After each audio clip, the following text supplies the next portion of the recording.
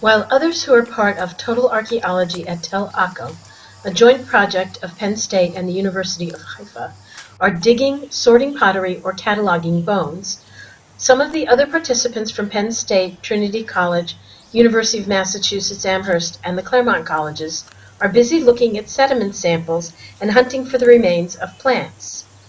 Melissa Rosenzweig, Assistant Professor of Anthropology and Classics at Miami University of Ohio, explains.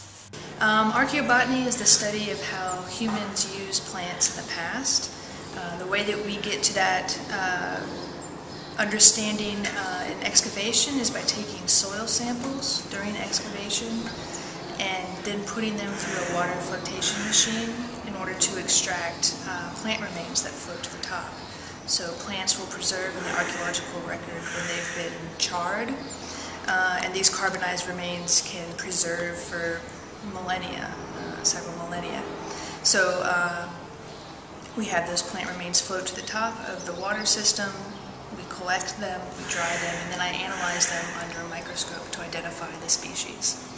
From this information, we're able to get a sense for what kinds of plants people were using over time and space at the site. Here at Akko, we're seeing a pretty typical uh, Eastern Mediterranean or Near Eastern crop package. Uh, that includes barley, uh, different kinds of wheat, including emmer and einkorn, and some um, forms of durum wheat um, or free threshed wheat. Also legumes like lentils and uh, grass pea and bitter vetch. Uh, we also get fruits like uh, fig, olive, and grape. And olive and grape actually are the predominant crops that we're finding on site uh, in all periods. Samples for us in the field.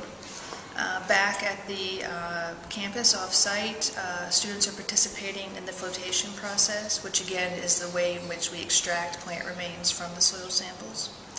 And then we have one student who's in the archaeological sciences track uh, who specializes in, who's uh, interested in archaeobotany, and she's helping me with the next uh, steps, which is um, sorting and identifying those plant remains.